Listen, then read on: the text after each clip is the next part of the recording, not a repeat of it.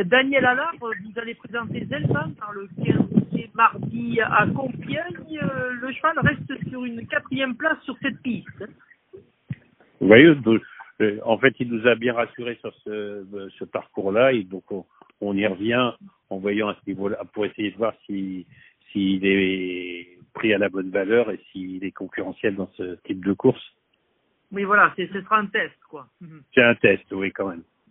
Voilà. Le, le raccourcissement de la distance, ça va lui convenir autrement.